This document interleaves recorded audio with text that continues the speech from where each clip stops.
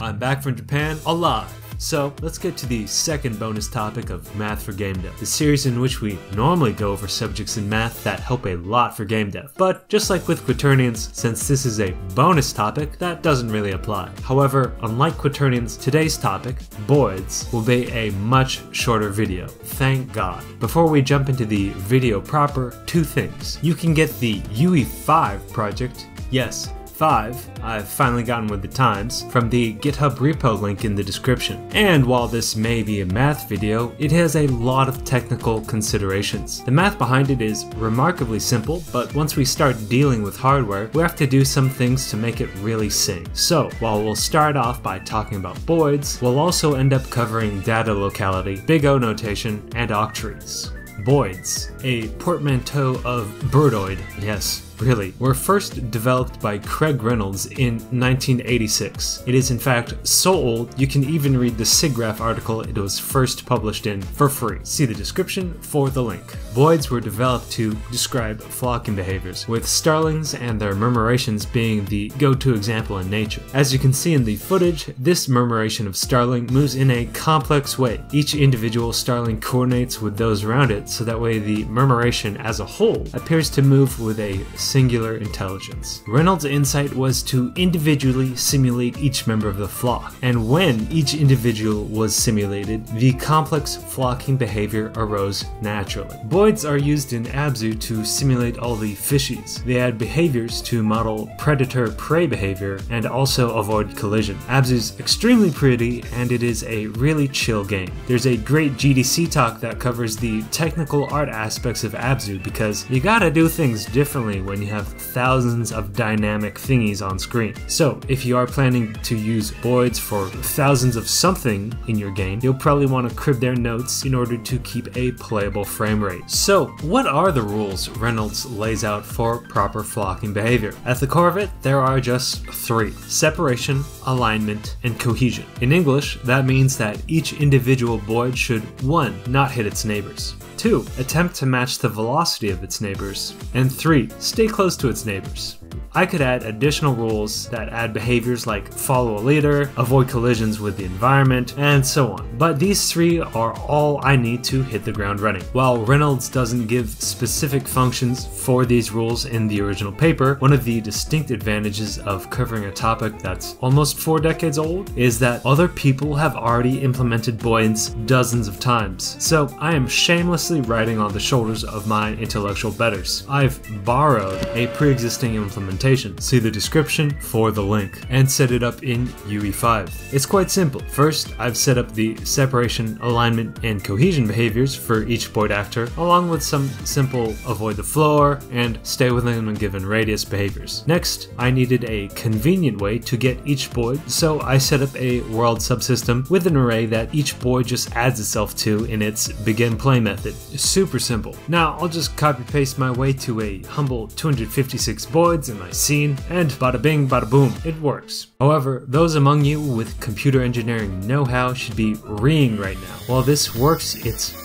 far from ideal. I can group all my actors together in memory so that way things are a little more efficient. And this is actually extremely simple. In fact, I'm mostly done. Since I already have all my Boid actors in an array in my Boid subsystem, I'll just update each actor from that subsystem instead of each one individually. First, I just change my Boid subsystem into a subclass of tickable world subsystem so that way it gets a tick method of its own. Then I just copy paste all my behaviors from the boids individually into my boid subsystem. Finally, I just loop over each boid in the existing array, updating all of them from within that loop. And when I run it, eh, it's a little better, but I can still hear your rees. To figure out which boids are the neighbors of an individual, I have to check all of them, and I'm really just interested in those close by. If I were to double the boids from 256 to 512, I'd be quadrupling the amount of work, because each boid has to check every other boid. This probably makes more sense with some visuals. Here I have four cubes in Blender. Let's imagine each cube is a single boid. At the moment, to update an individual Boid, it has to check every other Boid. I'll duplicate them into columns to demonstrate that visually. And then I just repeat that update for every single Boid. Now, if I double the Boids from 4 to 8 and repeat the same process, we now have 64 cubes in total instead of 16. Since you're all master mathematicians after watching the original Math for Game Dev series, you did watch the original videos, right? You should be able to tell that the number of evaluations is increasing exponentially. Specifically, it squares. So if I were to double the number of boids, I'd have to do 4 times the work. Tripling would lead to 9 times the work, and so on and so forth. This is where Big O notation comes in. Big O notation is used to describe how an algorithm behaves as the volume of information it has to operate on increases towards infinity. If an algorithm's work increases linearly with volume, it's big O n. If it increases squarely, then it's big O n squared, which is our current Boid algorithm. Basically, you just find the most computationally intensive step of an algorithm, and that's its big O. If you're ever in doubt, draw it out, or really just look it up. You don't have to know each algorithm's big O perfectly. Just a general feel for them should be plenty good to steer you away from writing terribly inefficient code. So if we look at our current Boid update setup, the problem is that in order to update an individual, we have to check every single Boid, when again, we're just really interested in those close by. Now, since we are just interested in those close by, I can reduce the algorithm's work by storing Boids that are close to each other in space, close to each other in memory, thus reducing the number of Boids each individual has to check. So instead of using an array, I'll use an octree. What is an octree? An octree is a tree of nodes. I'll get back to this uh, video later. Cheers. In graph theory, a tree is an undirected graph in which any two vertices are connected by exactly one path. The various kinds of data structures referred to as trees in computer science have underlying graphs that are trees in graph theory, although such data structures are generally rooted tree. A rooted tree may be directed, called a directed rooted tree, either making all its edges point away from the root or making all its edges point towards the root. Alright, let's see what happens when we press play. An octree is a tree of nodes organized spatially, and the leaf nodes hold all the actual items. An octree subdivides its nodes dynamically, so that way spaces with more items get more nodes. This way, the overall number of items per node doesn't get too high, and the converse is that volumes with less items have less nodes. Octrees are great for local queries since it stores elements that are close to each other, close to each other. I've implemented a simple octree here that just stores pointers to Boid actors. Now, since my Boid's positions probably change each frame, that means I'll have to either 1. rebuild my octree each frame, or 2. appropriately add and remove nodes and move elements around just to keep the octree kosher each frame. The latter sounds like a lot of work, so I'm just going to rebuild my octree each frame. Now, I can just retrieve the local actors needed for my Boid updates instead of having to check all of them. And again, if you're interested in my simple implementation of an octree, check the description for the link to the repo. You could definitely make a much more robust, better octree using my basic code as a launching off point. And if we run it using the octree, hey, it works even better. Now, there are a bunch of other ways we could optimize it, such as using static mesh instances, which I'll probably cover in an indie to indie episode, or setting up a kind of entity component system for the Boids, but I'll leave that for you to do. I've created these quick and dirty geese with basic vertex animations, so that way I can pay homage to Vine. Oh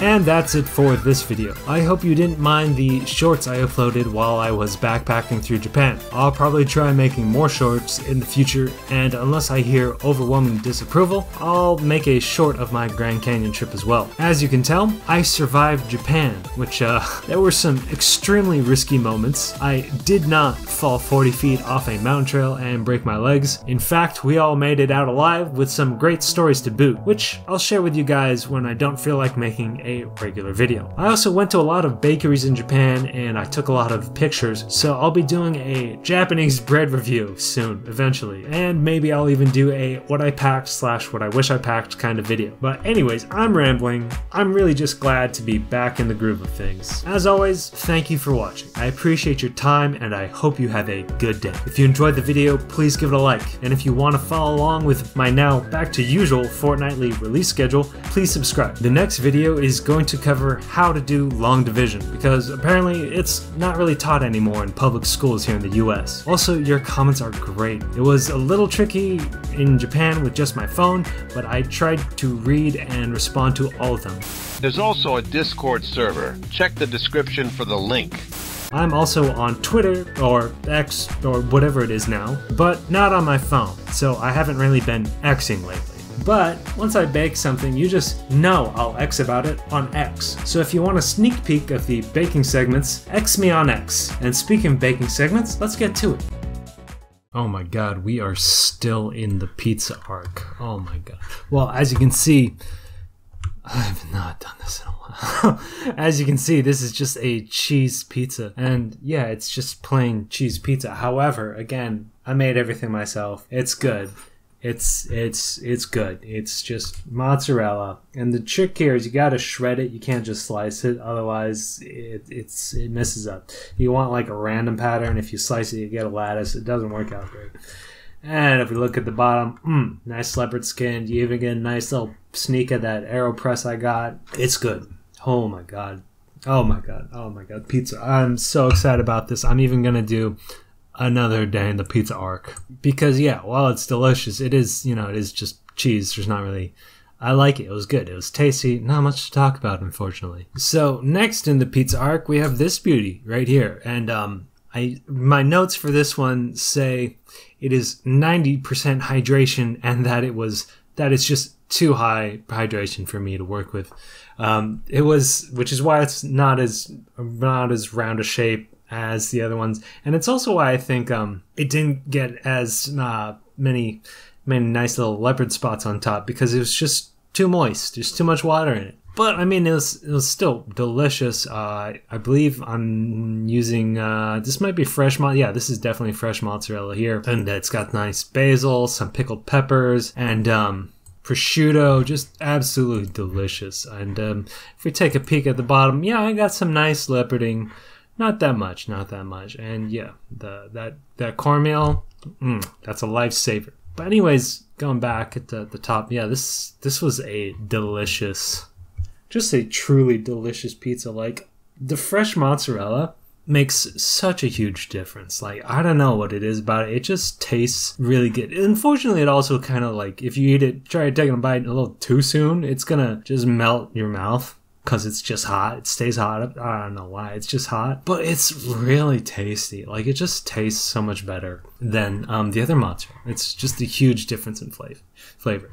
And let me say, let me tell you, oh my god, one thing, you know, what my my single complaint about Japan, the tomatoes there were terrible. They're just bad tomatoes. Like I ate day on the on um, the flight from Hawaii to Japan, they were just shoving food down our gullet, was which was great. ANA Airlines, amazing. They're just the beer's free, the wine's free, and they're just here's like every two hours, like hey hey, here's another meal. And they had uh, like some cherry tomatoes with one of the meals, and I ate it and it was terrible. And I mean, it makes sense because Japan, it's so wet there. It's never really, it's never really dry enough for good tomatoes. So while I was in Japan, I just didn't eat pizza or like or or like you know um, any red sauce pasta because it was just too depressing, too depressing. So I came back. When I got back, I ate like ate tomatoes honestly the first day i got back well was, i got back too late so i didn't eat anything like i got back at like 10.30 i just I just ate some bread and went to sleep. And then, but the second day, I ate like eight tomatoes. And then after that, I was like averaging like four tomatoes for like the next few days until I got my tomato fill in. I'm like, all right, no more tomatoes for now. But I don't know. I'm, I'm probably gonna make pizza again because I'm still thinking about tomatoes. And I don't know. I don't know. But in Tokyo, there were like there were Italian restaurants everywhere. You could tell because they were all flying the Italian flag. And but like I was like, oh no, the tomatoes here are bad. I'm not even gonna bother. This is gonna be depressing. And it was. Anyways, I'll do the next pizza uh, because it's just, I only took a single picture because it's basically the same picture, or pizza, excuse me.